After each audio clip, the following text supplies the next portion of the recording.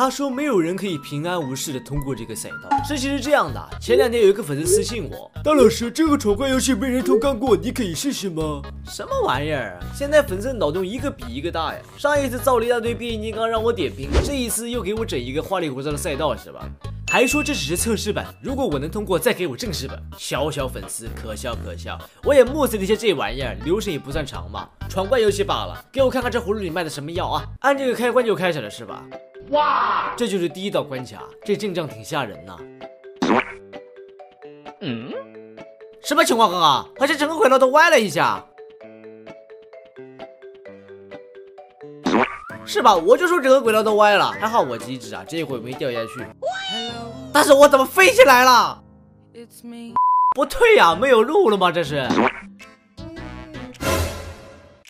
怎么往哪走都飞出赛道啊？有点意思啊！第一关就把我卡住了。这粉丝还嘲讽我说，如果是正式版，我落地就已经没了。别急，我摸索摸索啊。如果我这样走抛管上，趁他不注意走过去呢？嘿嘿，这不就过来了吗？简单简单。第二关是做的很绝啊，不给机会是吧？我直接以防御模式硬闯。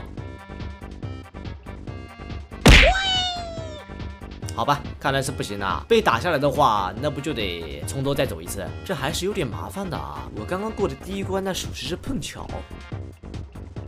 Hello, Two thousand years later.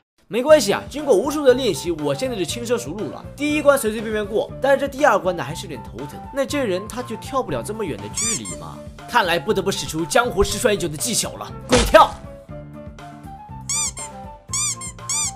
看到没？这就是身法，就凭你也想拦住我？接下来是。这不就是刚刚的 Plus 版本吗？这直接不删我了，连着一个赛道一起删飞了，牛啊！关键是我现在还进退两难，一个不留神还被后面的打飞了。我还在发愁呢，这可咋整呢？哎，旁边这两个是？莫非？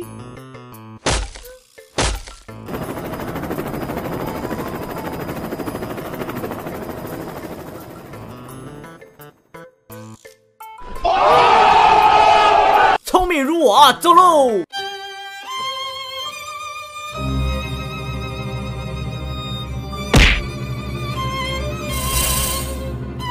好家伙，下面这些齿轮纯粹就是为了为难人是吧？不过这个和刚刚比起来不是什么难事啊，顺利通过。这第三道关卡和前面的比起来，感觉温和不少啊。这不直接就能跳过来送分体吗？不是？No。这关卡谁设计的？站上来挨我两拳，太气人了！挖这么大个坑，正好卡住让人不过去是吧？这个开关是干啥的？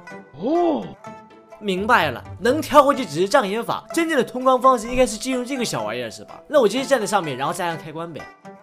No，好像事情被我想简单了啊！让我想想，明白了，如果我让它停在靠前一点的位置，我直接跳不就行了吗？哎，果然啊，前面看起来就是终点了。还好我反应快，刹住车了。这两边东西看着就不简单。果然他是能开枪的，在这前面就是终点了，总不能在这停下吧？冲啊！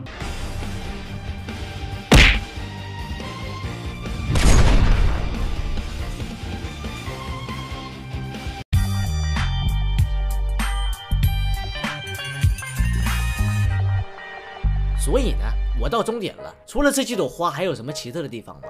这粉丝说我才通过了第一轮考核，接下来才会给我正式版的关卡，可笑可笑，这对我来说太简单了好吗？根本不慌，我倒想看看下一期能整出什么花样。那么大老师记得长按点赞关注，我们下期再见。